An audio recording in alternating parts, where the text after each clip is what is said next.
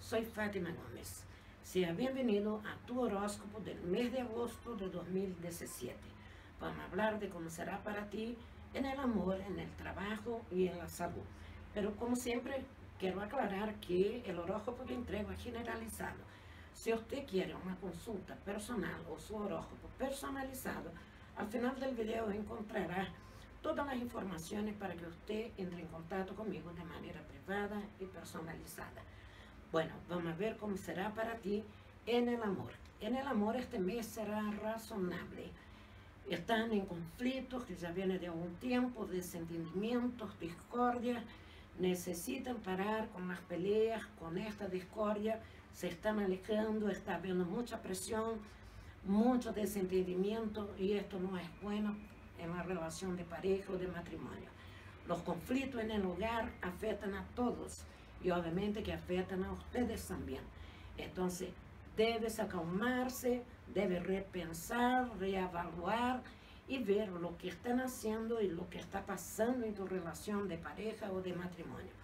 Conflictos a la vista, así que es momento de calmarse, de tratar de buscar el diálogo y evitar confrontaciones y peleas que van a llegar en situaciones que después no puede solucionar.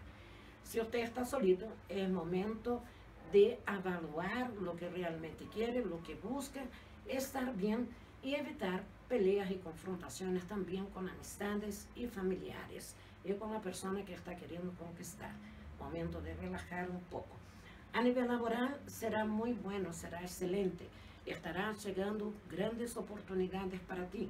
Mira a tu alrededor, mira los correos, contesta los celulares, contesta todas las llamadas, porque ahí está llegando cosas nuevas para ti.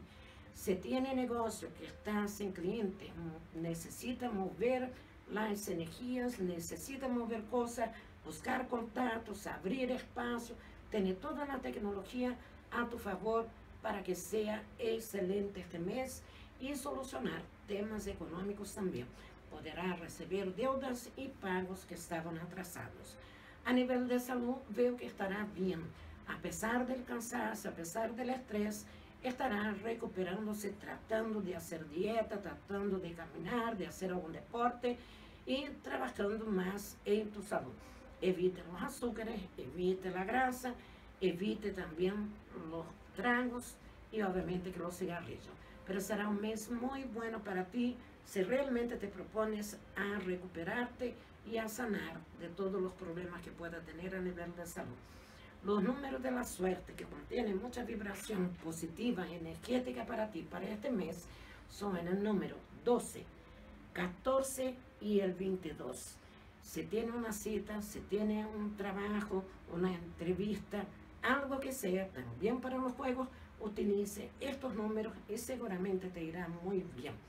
Bueno, espero que entienda que el horóscopo que entrego acá son consejos para que tú analices, evalúes y tomes el camino correcto, las decisiones correctas para que tenga un mes excelente, de mucha prosperidad, amor y muchos éxitos. Bendiciones.